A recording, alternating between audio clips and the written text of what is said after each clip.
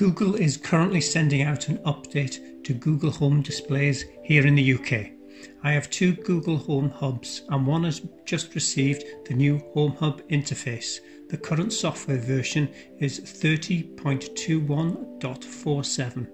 The new software version is 32.28.38. Here is how the current version 30.2147 looks like. You pull down from the top to access and control all your devices. You swipe from the right to access your media and information.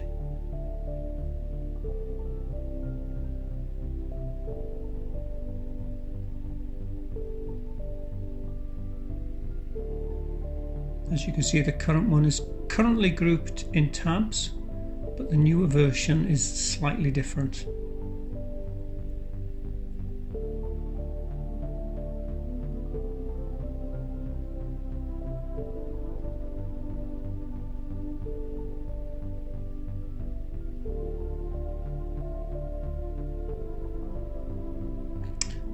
This is my new kitchen home hub which has just received the new software version 32.28.38.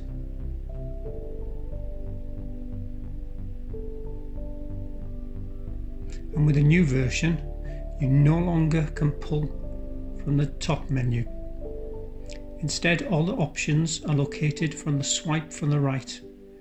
This has been totally reorganized into tabs to make it easier to find what you want. You have your morning, to display. It displays the weather, your thermostats, if you have one, calendar entries, commute to work, and various new feeds.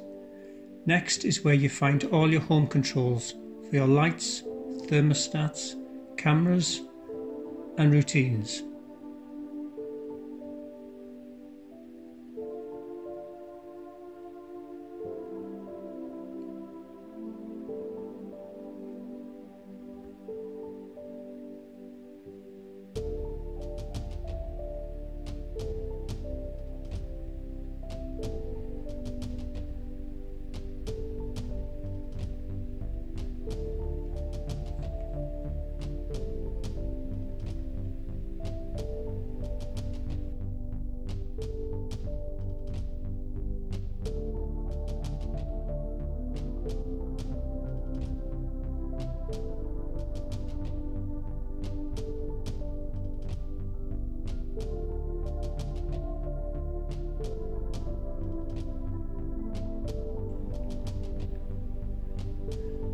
The next tab is Media. This shows all of your YouTube, music or other media content that you consume. And then we have the Communication tab which gives you quick access to broadcast and making phone calls. It has also introduced some new quick action features like broadcast or call to another room.